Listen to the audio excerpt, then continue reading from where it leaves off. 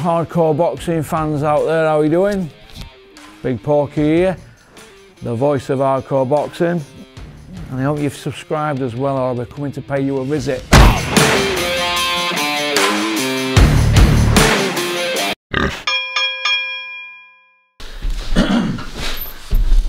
Hello all you hardcore boxing fans out there, how are you doing?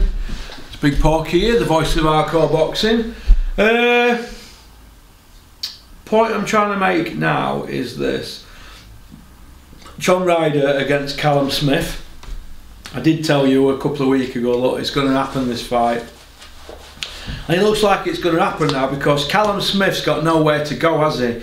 Nowhere to go. He didn't move up to 175 because we all know what Joe Gallagher said about there being bogeymen at 175 on all the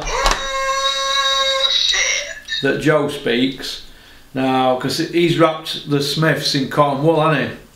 Unless there's a big payday coming. For example, Paul Smith against Andre Ward. Paul Smith were never going to get a fight at that money in his life, right? So they thought about, he thought about his cut, didn't he, Joe? Just like he is with Callum, but they've got to put the John Ryder one right, and then they've got to go after the winner, Canelo and Billy Joe, if that happens. Now, I think it will happen. I think Joe Gallagher will come to the table and they'll try and they'll try and get a bit of a better purse than that, but that's not pay per view.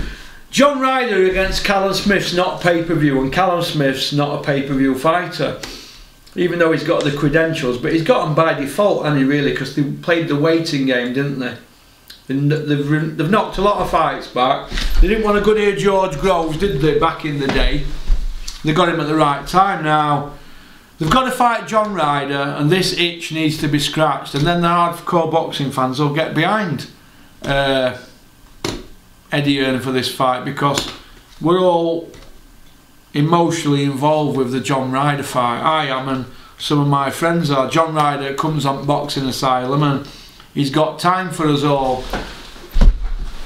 And we all feel bad about what happened with somebody who was similar to us in that Simon Clayton ripping ripping him off and doing what he did and using John's name. So John Ryder came out that with a lot of credit and showed a lot of professionalism after a lot of people got ripped off with their money.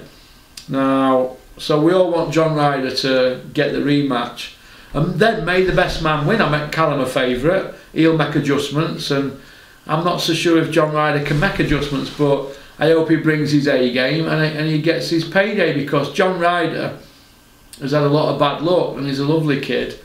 He's a lovely, lovely kid, and like I said, if Eddie Hearn makes Callum Smith against John Ryder, I'll personally send him a gift.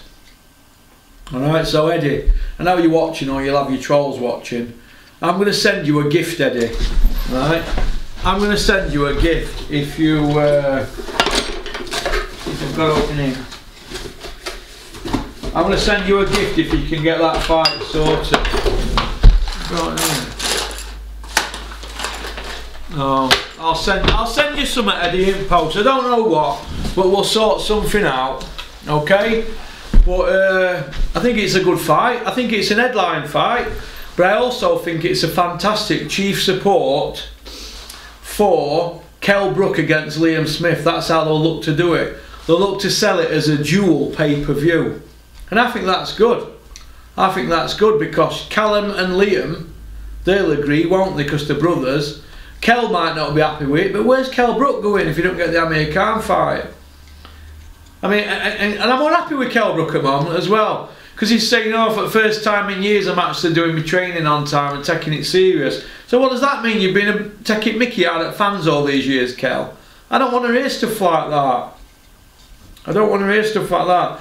I'm now going to take it serious. What, what? It's like Dave Allen, he's now saying he's taking it serious. So what does that mean he's been doing for the last 10 years then? Because he wasn't taking it serious when Dennis had him.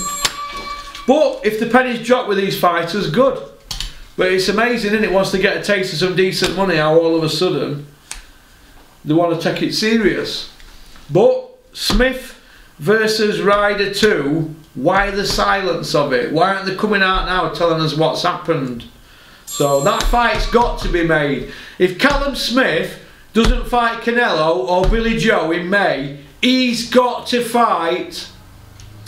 Callum Smith's got to fight John Ryder. And what I think they'll do, they'll do a bumper show in Liverpool. Liam Smith, Kell Brook, Callum and John Ryder in England, and then into the early hours it'll go on to the, DAZN and sky. It'll be a, a bonanza of boxing they'll call it.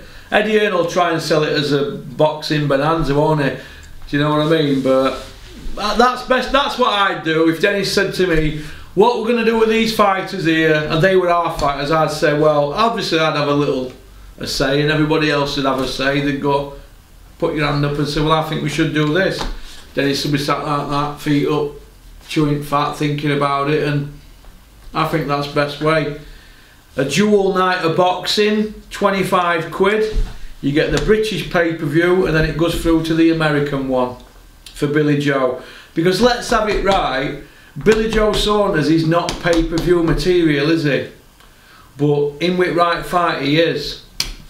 That's just my opinion. But why the silence? Come on, Eddie. Let's have John Ryder against Callum, uh, uh, against Callum Smith Kell Brook against Liam Smith in Liverpool, pay-per-view, and then you're going into into the night for the American pay-per-view. It's probably even worth 30 quid that, isn't it? For the boxing across the pond, they could call it, or whatever. But like I said, boxing bonanza, that show would be. And that, for me, would be great. That's a great night of boxing if they can pull that off. So, alright. So, peace out. Keep on trucking.